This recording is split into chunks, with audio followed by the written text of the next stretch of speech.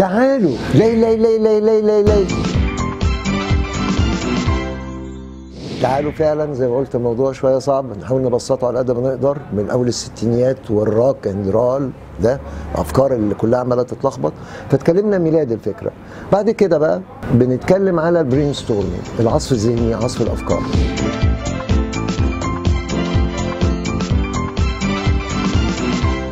عندنا واحد اسمه أليكس. أوسبورن ده أمريكاني سنة 1953 بعد انتهاء الحرب الكورية. الحرب الكورية دي أثرت على الاقتصاد الأمريكي بشكل قوي. فهو كان co-founder مع مجموعة شركة دعاية وإعلان شغل وقع خالص. التسويق الدعايه والاعلان دي دايما عاوزها أفكار creative thinking بس هو استفاد قوي قوي من من ال creative thinking نظريه إحنا اتكلمنا عليها وشبهناها بالولادة بتاعة جراهام والاس اللي كانت 1923 وبما ان هو نظريته إنه ممكن ناخد من الأفكار ونطلع بأفكار دي كانت فكره من الأفكار الأساسية اللي يطلع بيها فكرة العصف الذهني أو ال brainstorming فكر في إيه؟ قال كويس قوي مرحلة ال preparation اللي اتكلمنا عليها التحضير. دي موجودة بس ما تنفعش تبقى ال preparation مفتوحة كده. فعمل في البداية حاجة اسمها orientation يعني الخطوة الأولى orientation دي خطوة مهمة جدا جدا إن إحنا الأول نحدد للمجموعة اللي هنشتغل معاها ونعمل لها التحضير وال preparation هو إحنا عاوزين إيه بالظبط؟ رايحين لفين بالظبط؟ الهدف من هذه الورشة الخاصة بالعصف الذهني إيه بالظبط؟ فبالتالي لازم نحدد تحديدا إيه النقاط اللي إحنا عاوزين نتكلم فيها. ويمكن كان في reel إحنا اتكلمنا فيه مثلا وكان حلو قوي ماشي كويس قوي وأنا كنت سعيد بمشاركتكم وتفاعلكم معايا اللي هو بتاع العيد وكعك العيد وحكاية كعك العيد. ده عيد الكعك الكعك له حكاية. هو أصله فرعوني زي حاجات كتيرة جدا. لكن قل قوي استخدامه. إلى أن جاءت الدولة الاخشيديه انتشر جدا. ليه بقى؟ لأنه حطوا جواه دنانير. فطبعا الناس كانت بتاكل الكعك عشان الدينار. الكعك طبعا صناعته بقت مش حلوة لأنه عامل زي ال fortune cookie كعك الحظ الصيني اللي هو الناس بتاكله علشان الحظ اللي جواه مش علشان البسكوتة نفسها لكن في العصر الفاطمي اتحسن جدا جدا وفضل الكعك حلو لغاية دلوقتي. بينتهي ال reel بسؤال تفضل الكعك اللي هو مش حلو وجواه دينار ولا الكعكة اللي هي معمولة حلو ومخدومة حلو تدفع فيها الدينار؟ السؤال ده اتعمل إزاي؟ علشان ناخد منه تحليلاته. ده اللي هو ال orientation إزاي توجه مجموعة العمل؟ عشان إحنا مش فكرة عصف أفكار أفكار كتيرة وخلاص عاوزين نطلع بيها بفكرة كمان غامضة. لا دلوقتي تسويق وإعلان يعني عاوزين نطلع بأفكار نعرف نسوقها.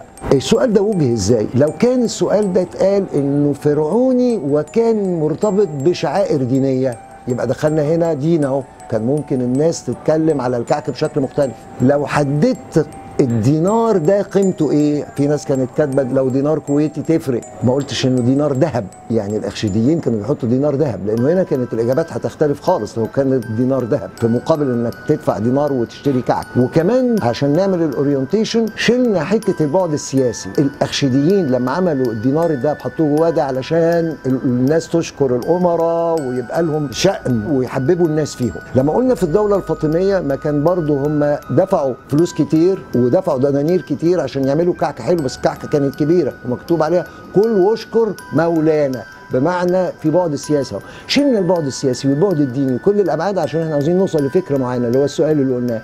تدفع دينار ولا تاخد كعك بدينار؟ ده حلو وده وحش بمنتهى البساطة. فده نموذج لفكر ال orientation إن أنت بتوجه المواضيع وتفكر فيها عشان تطلع بنتائج محددة. ده ال orientation بعد كده ال preparation ما إحنا دلوقتي ما بقتش بس هناخد أفكار كتيرة من كل الناس. المجموعات هم كانوا يعملوا مجموعات عمل للعصف الذهني لل brainstorming من 5 ل 12 ما تبقاش أعداد كبيرة جدا جدا. ممكن تبقى كذا مجموعة ويسألوا أسئلة محددة عشان إحنا عاوزين نطلع بإجابات محددة. ده اللي اسمه ال preparation الإعداد. هنا المسائل أخذت مفهوم تاني في ال brainstorming عن فكرة جراهام والاس بتاعه creative thinking بعد كده بيعملوا حاجة اسمها analysis تحليل. يعني إحنا عندنا بالتحليل كده البسيط حوالي 49% مع إنهم ياكلوا كعك حلو مخدوم كويس بتاع فيه دينار. وقالوا حتى مع نسكافيه يبقى كعك جميل.